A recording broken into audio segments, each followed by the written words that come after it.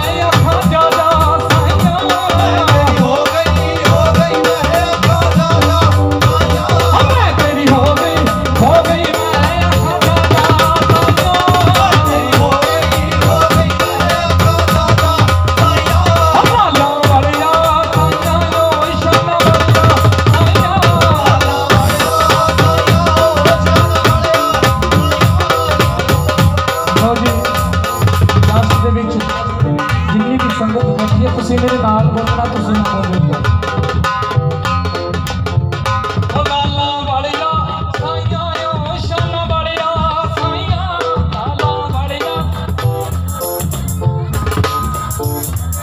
ਕਹਿੰਦੇ ਆ ਏਕਤਾ ਦੇ ਵਿੱਚ ਬਲ ਹੁੰਦਾ ਹੈ।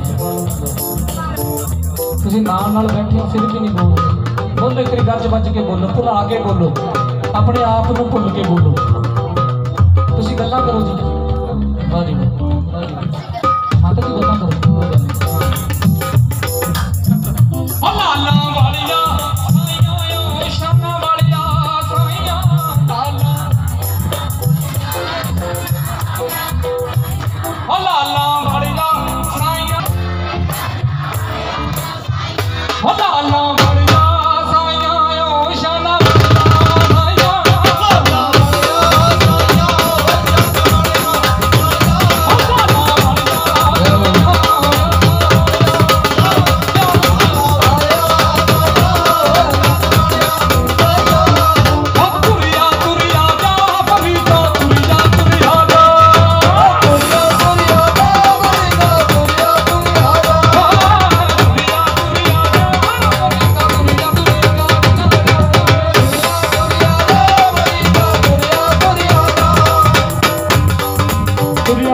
啊